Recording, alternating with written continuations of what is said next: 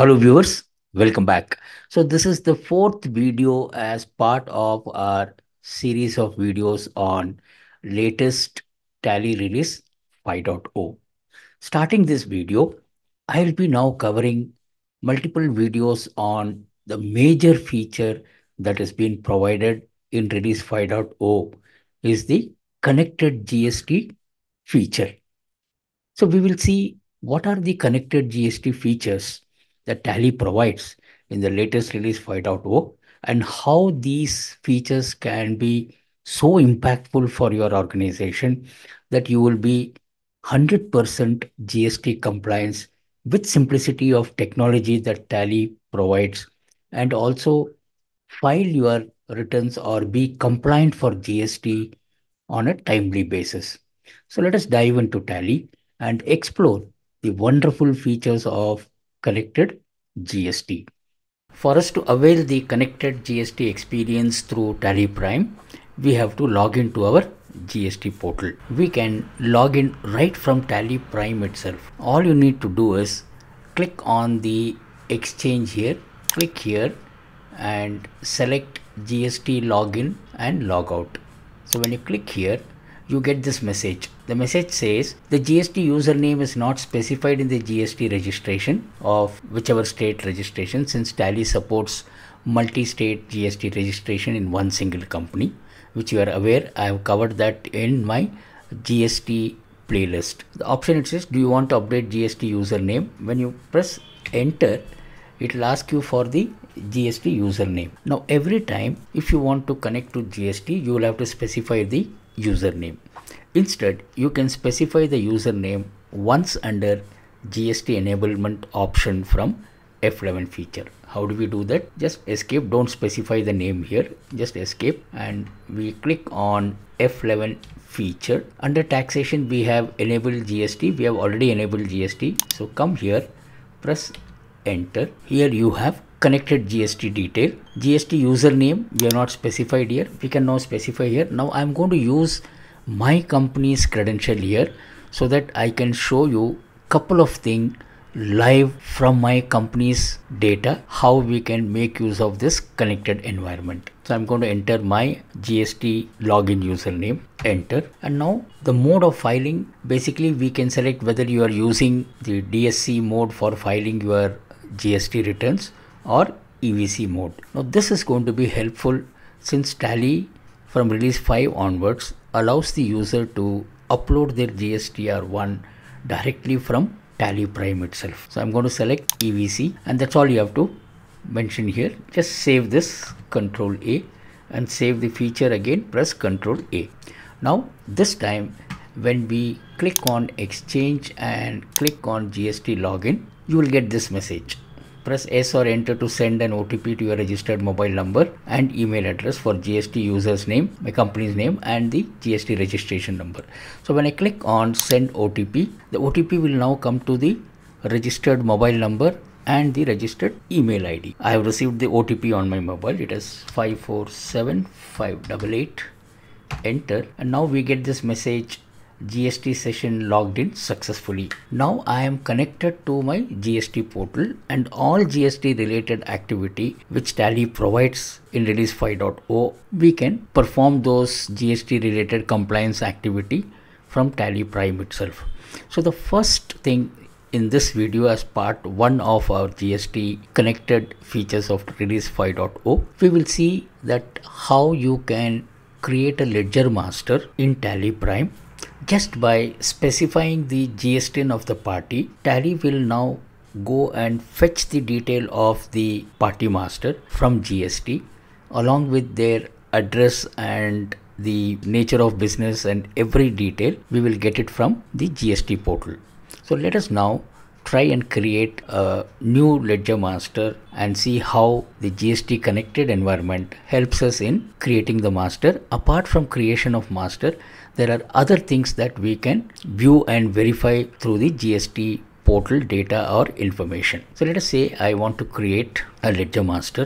I have made a purchase through Amazon, an item, and now I have to create the ledger master of this particular party. With the help of connected GST, we will see how are we going to create the ledger master and see other critical information about this particular vendor. This is the vendor master detail. In fact, I've just copied the address from the Amazon's invoice. Let us create this party. So I go to create ledger and now if you notice here on the right hand side button bar, you have this button which says fetch details using GSTIN slash UIN. When I click here, all you have to do now is just type the party's GSTIN. So the party's GSTIN is here. So I'm going to just enter the party's GSTIN. As we are aware, Tally will also validate whether the GSTIN of this 15 digit, whether we have captured properly. So the moment you press enter, now Tally goes to the portal and then fetches the detail of this information. Now if you see here, the party invoice says Praveen Sharma, so which is a proprietary company. So we are aware that once you register as a proprietor company, the PAN of the individual is captured. So the registration name is going to be Praveen Sharma, but whereas this person's business name could be different or trade name could be different. So now if you see here, the fonts we see in blue is the information. And if you see here, the legal name of this person is Praveen Sharma. The trade name is Falcon Enterprises. And now very important, if you see here, this person is a regular dealer but his GSTIN is suspended, which means whatever purchases I made from this person, I will account my inward supply, which will show my eligible input tax credit. Now, since this person's GSTIN is suspended, he is not going to file his return, which means I am at loss of the input tax amount which this person is charged. So this party is suspended. Now this is where you know basically you can capture this as per book. And apart from that, if you see here again on the right hand side, you have this button called filing history. When you click on filing history, now you will get this history of this particular party. So you will notice here that the e-invoice status is not applicable for this person.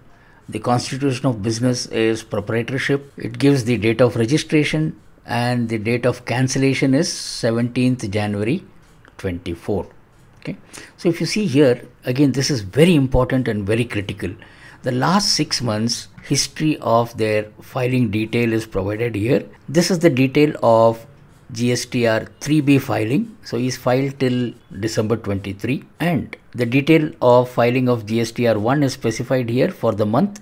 So January 24 is the last return he is filed. And now this party's account is suspended. So this way, whenever you create a party master, you can now with the connected environment feature that is provided in release 5.0 onwards, you can verify the party, check for their status of GST registration and most importantly, you can check their filing history for the last six months.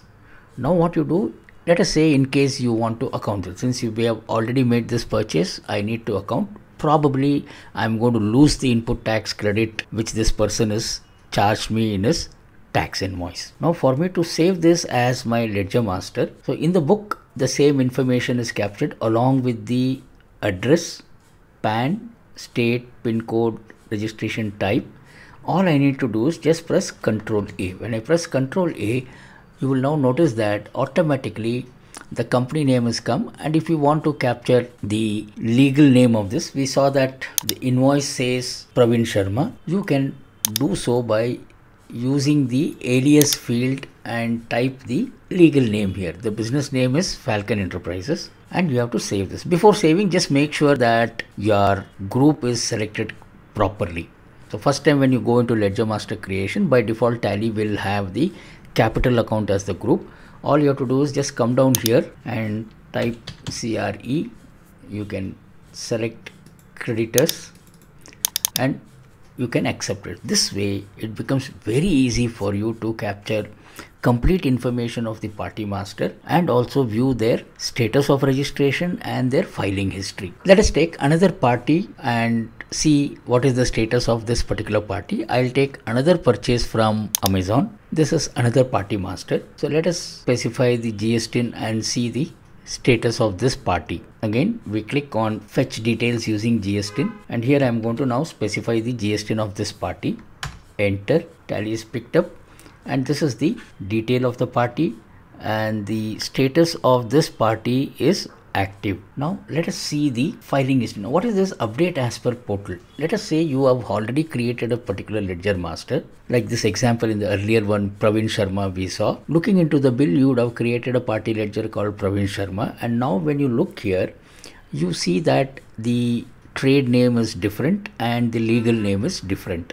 If you want to update this from the portal for your existing ledger then you can click on update as per portal Tally will update the information, modify or alter the information in your existing ledger with the GST portal information. So that is why you have, so when you require certain action to be done, you can use update as per portal. Now let us view their filing history. I'm click on filing history.